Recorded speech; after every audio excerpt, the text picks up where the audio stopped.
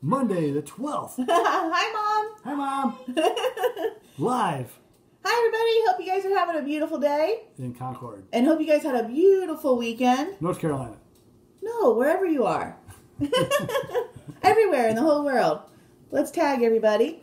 Well, hope you guys had a great weekend. And um, we're sitting in a different spot at the table, so we have a different background today. Right. So, um, but it looks like it's a little bit of a glare. So hopefully you guys can see us okay.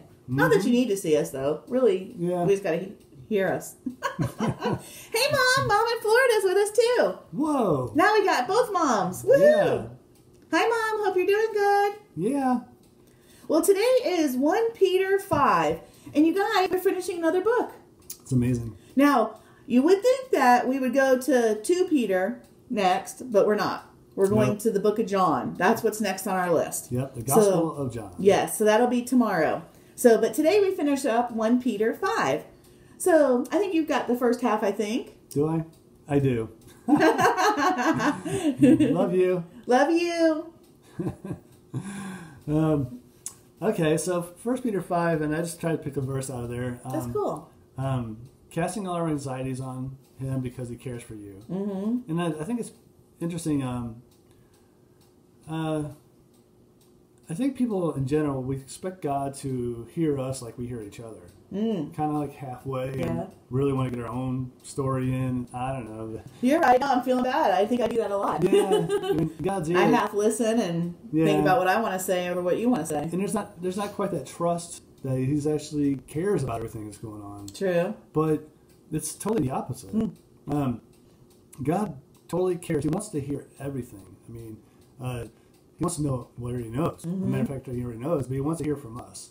And um, that's what it is to have God as God, is to believe and trust and, and um, keep, like, when you got prayers and you got things going on, keep praying, keep knocking on the door.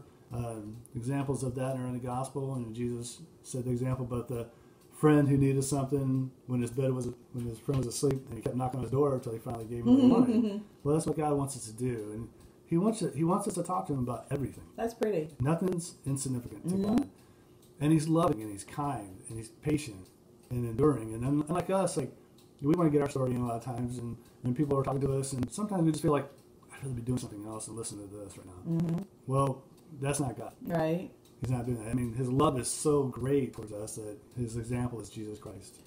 Well, I'm not half listening. I'm still stuck on that. It's so cool. Like that is really deep. Like, um, I wonder how many times you know, like I do that, and it's neat and company that God doesn't do that. No, That's kind of cool. And then, like us who actually do get tired, I mean, even mentally and everything like that, God never sleeps or slumbers. He's always there 24 7. And That's awesome. He wants to hear what you got to say. So, That's really beautiful. Yeah.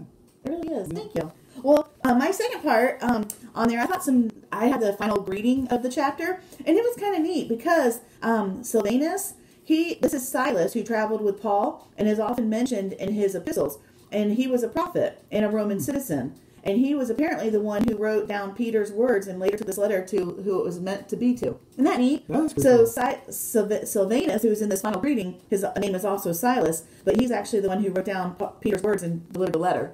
Isn't that neat? that is pretty neat. And then, when Peter wrote of Babylon, this refers to a church in Rome. And a neat fact when Peter writes, Mark, my son, Mark, called John Mark, was the spiritual son of Peter. Tradition indicates that Peter helped him write the Gospel of Mark. So Oh, when he's saying Mark, my son, he's talking about actual Apostle Mark. Isn't that cool? That is pretty cool. And um, but I just thought it was interesting too. Um, just all the different references in there. Like I had the final greeting, which was you know like I felt bad because I had the shortest part, but there was like a lot of cool stuff in there. So I was like, neat. It's interesting, yeah, so that was Yeah. cool.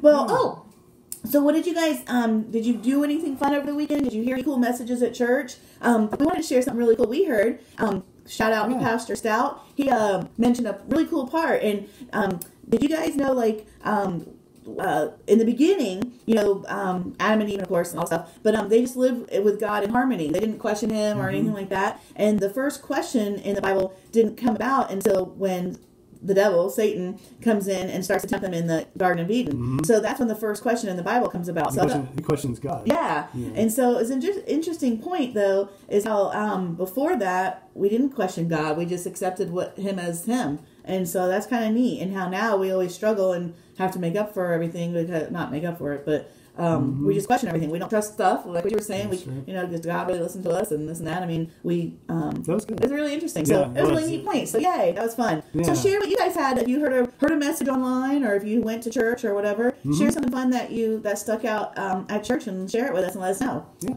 All right. Well, we love you, and we'll see you tomorrow for a new book, which means Means. a new introduction. Ooh, yes. I'm excited. It's gonna be good. Sure. Thanks for joining us. We love you guys.